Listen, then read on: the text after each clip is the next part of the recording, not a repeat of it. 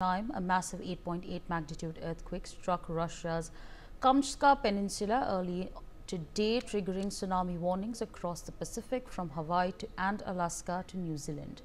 Though no serious injuries have been reported, authorities across multiple countries urge evacuations amid widespread coastal alerts and transport disruptions. In fact, joining us uh, at this point in time is Mr. Aleksei Zakharov, fellow at Observer Research Foundation. So, thank you so much for taking out time speaking to us on NewsX. I hope I uh, pronounced your name correctly. Uh, you can point it out if I didn't. Uh, I want to understand from you what exactly is the situation on the ground at this point in time. It is the sixth uh, strongest earthquake that has been reported, 8.8 magnitude. Yeah, good afternoon.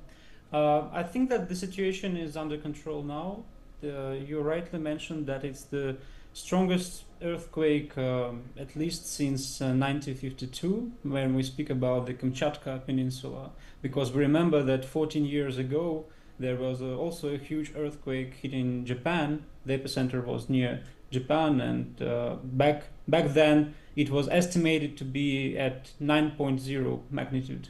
Uh, so it's a, it was a very strong quake uh, I mean, there there are uh, different buildings that were affected, that were damaged, uh, like the building of the relatively new international airport on the Kamchatka Peninsula, um, where I mean there was some falling objects and some uh, damages in the building that affected people who were there, were waiting for their flights.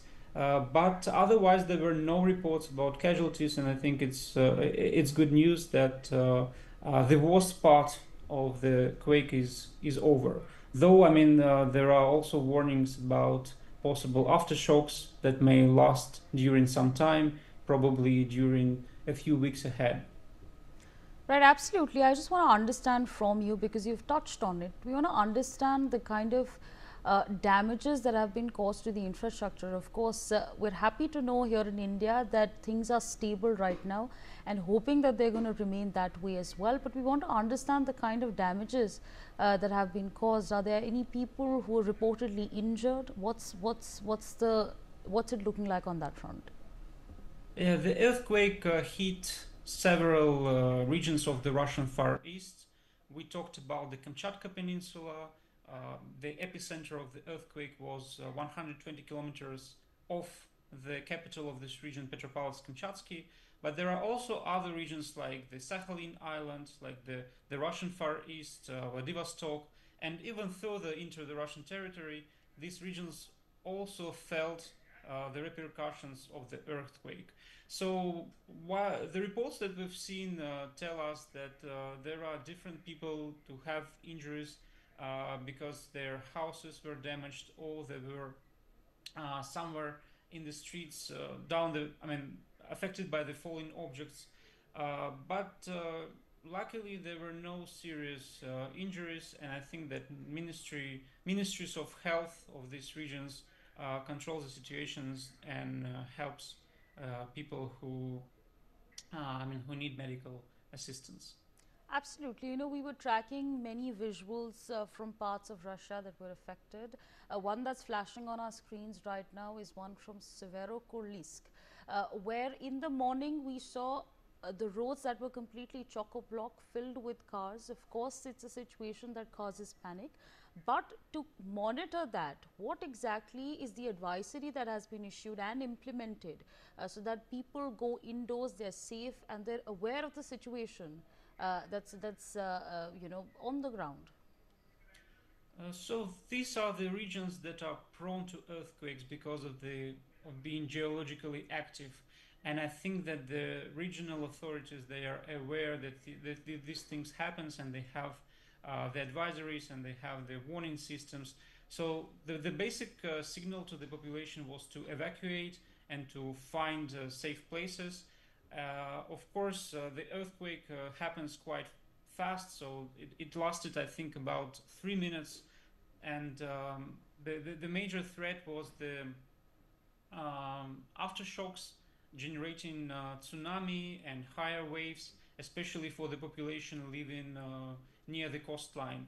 So there were many tourists in the region. Um, I mean, because it's a very, it has very beautiful nature, um, and many tourists were camping along the coastline. So of course, I, am sure they were reading news and they uh, realized that they have to evacuate to safer zones so that they would not be affected by the kind of flooded coastline by the uh, tsunami.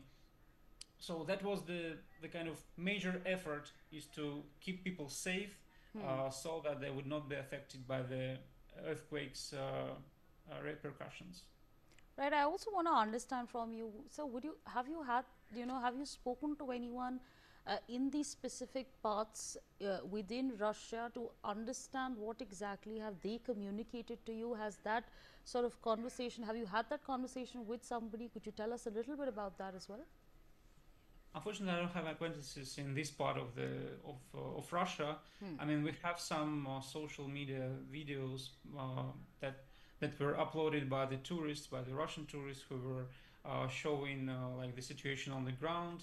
Some of them, as I mentioned, were camping uh, on the coastline. Some of them were observing the um, nature from from boats or from some vessels.